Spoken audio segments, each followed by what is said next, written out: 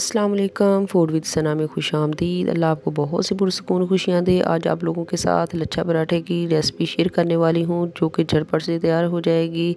Video को and तक देखिए। वीडियो अच्छी लगे तो लाइक कर दें और चैनल पे न्यू है तो सब्सक्राइब कर लें। यहाँ पे सबसे पहले हमने दो कप मैदा ले लिया। अगर आप नॉर्मल टीन वाला आटा लेना चाहते हैं तो वो भी ले सकते हैं। और मैंने हाफ़ टी स्पून इसके अंदर शामिल की है शुगर और हाफ़ टी स्पून इसके अंदर शामिल करूँगी नमक। और टू टेबल स्पून शामिल करेंगे घी। कुकिंग ऑयल हम यहाँ पे इस्तेमाल नहीं करेंगे, बल्कि हम घी का ही इस्तेमाल करेंगे, क्योंकि घी से पराठे जो हैं वो बहुत ज़बरदस्त और टेस्टी बनते हैं। अब हम इन सबको अच्छी तरह से मिक्स कर लेंगे। जब इस तरह से ये मुट्ठी बनने लगे तो आप समझ जाइए कि आप सही डायरेक्शन में जा रहे हैं। अब इसके अंदर थोड़ा थोड़ा करके पानी शामिल करूँगी और पानी जो है, वो मैंने नीम गर्म लिया है, क्योंकि नीम गर्म पानी से डो बहुत अच्छी तैयार होती है। इसलिए थोड़ा थोड़ा पानी अब इसके अंदर शामिल करते जाऊँगी और इसको गूँध लेंगे। बिल्कुल सेम उसी तरह ही हमने इसको गूँधना है, जिस तरह हम नॉर्मल रूटीन में आटा गूँधते हैं। अगर आप इसको मज़ीद सॉफ्ट करना चाहते हैं तो पानी की जगह पर आप दूध भी इसमें शामिल कर सकते हैं। लेकिन मैं इसको पानी के साथ ही गूँधूँगी अब इस तरह इसको गूँध के तो इसके ऊपर लगा देंगे हल्का सा घी ताकि ऊपर से जो है ये खुश्क ना हो। और इसको कवर कर देंगे तकरीबन 10 मिनट के लिए। 10 मिनट के बाद इसका कवर उठा लेते हैं और चेक करते हैं कि क्या ये अच्छी तरह से जो है डो हमारी तैयार हो गई है। माशाल्लाह से ये अच्छी तरह से फूल गई है। और अब हम इसके पेड़े बना लेते हैं। दो कप मैदा था तो माशाल्लाह से इसके दो पेड़े बन के तैयार हो जाएँगे। तो इसी तरह मैंने ये दोनों पेड़े जो है वो बना लिए हैं। अब काउंटर के ऊपर थोड़ा सा खुशका लगाते हैं ताकि जब हम इसको रोटी को बेलें तो ये बिल्कुल भी इसके साथ चपके ना। इसको बेलते हुए हमने ये ख्याल रखना है कि ये बारीक हो, यानी कि हमने बिल्कुल इसको बारीक बेलना है। बेशक ये गोल हो ना हो, लेकिन बारीक होनी चाहिए। माशाल्लाह जी, देखिए मैंने कितनी बड़ी जो है ये रोटी बना ली है। कैमरे में पूरी नहीं आ रही।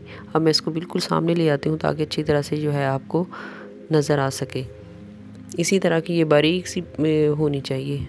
अब इस सारी के ऊपर ना मैं घी लगा दूँगी। यहाँ पे हमने ना कुकिंग ऑयल का इस्तेमाल नहीं करना क्योंकि उससे जो है पराठे क्रिस्पी नहीं बनते, बल्कि सॉफ्ट से हो जाते हैं, इसलिए हम इसके ऊपर घी लगाएँगे और इसके ऊपर लगा देंगे अब थोड़ा सा खुशका क्योंकि जब हम इसकी लेयर बनाएँगे ना, फिर ये पराठा हमारा अंदर तक पक जाएगा और अलग अलग लेयर्स हो जाएँगी उसकी। अब यहाँ पे मैं छुरी की मदद से जो है वो इसके छोटे छोटे कट कर देने हैं। लेकिन ये ख्याल रहे कि हमने एंड तक रोटी को कट नहीं करने, ऊपर से भी थोड़ा सा हिस्सा छोड़ना है और नीचे से भी थोड़ा सा छोड़ना है और अंदर से बिल्कुल ये कट कर देने हैं अलग अलग कर देना है। इसी तरह ये सारी रोटी के ऊपर जो है ये हम कट लगा देंगे। जब इसके ऊपर ऐसे कट लगा देंगे तो हम इसको ऐसे फोल्ड करते जाएँगे। वीडियो बन रही है ना इसलिए ये आपको देखने में मुश्किल लगता होगा लेकिन ये बिल्कुल भी मुश्किल नहीं है ये बिल्कुल आसान है। जब आप ऐसे बनाएँगे तो माशाल्लाह से बड़ी आसानी के साथ ही ये, ये हो जाएँगे। बस अब इसको ऐसे हमने फ़ोल्ड कर लेना सारे को। फ़ोल्ड करने के बाद अब हम इसको सीधा कर लेते हैं। यहाँ पे। और अब हम इसको साइडों से रोल करेंगे। यानी कि ये हमने ख्याल रखना है कि एक हिस्से से जो है वो कम छोटा हो रोल और दूसरे हिस्से से बड़ा हो। ताकि जब हम इसको, इसके ऊपर रखेंगे ना तो ये बहुत ही ज़बरदस्त सी लेयर डबल रेल बन के तैयार होगी। इस तरह ये इसका पेड़ा बना लेना इसी तरह दोनों के पेड़े बना लेने हैं। और पाँच मिनट के लिए ये हम छोड़ देते हैं और उसके बाद फिर हम दोबारा जो है इसको बेलेंगे। लेकिन अब जब हमने इसको बेलना है तो हमने बिल्कुल भी खुशका नहीं लगाना। यहाँ पे या तो फिर आप हाथ से जो है वो बना लें, या फिर आप बेलने से जो है इसको बेल लें। लेकिन खुश्क आटा हम इसको नहीं लगाएँगे।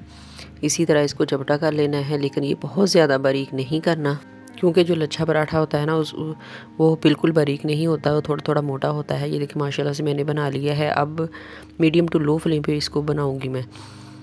फ्लेम हमारा मीडियम टू लो है ताकि अंदर तक अच्छी तरह से जो है ये पक जाए, इसको घी लगा देंगे, ऊपर वाली साइड पे, नीचे वाली साइड पे भी। इसी तरह फिर इसको साइडें चेंज करते हुए इसको जो है वो बना लेंगे। माशाल्लाह से अभी आप चेक कीजिएगा। हमारा लच्छा पराठा कितना ज़बरदस्त और क्रिस्पी सा बन के तैयार हो जाएगा। इसी तरह दोनों साइडें चेंज करते जाएँगे और इसको बना लेंगे। फ्लेम जो है ये हमने हाई नहीं करना क्योंकि हाई फ्लेम पे जो है ये बिल्कुल भी अच्छा नहीं बनेगा। अंदर से कच्चा रह जाएगा। माशाल्लाह से ये देखिए, पराठा हमारा बन के तैयार हो चुका है, इसकी लेयर आप चेक कीजिएगा। माशाल्लाह आपको अलग अलग लेयर्स इसकी नज़र आएँगी, अंदर तक ये है, ये पक चुका है और कितना क्रिस्पी है, ये आप चेक कीजिएगा। जहाँ भी रहिए, खुश रहिए और हेल्थी रहिए, अपना और अपनी फैमिली का बहुत सारा ख्याल रखिए। मिलते हैं नेक्स्ट रेसिपी के साथ, तब तक दीजिए इजाज़त, अल्लाह हाफिज़।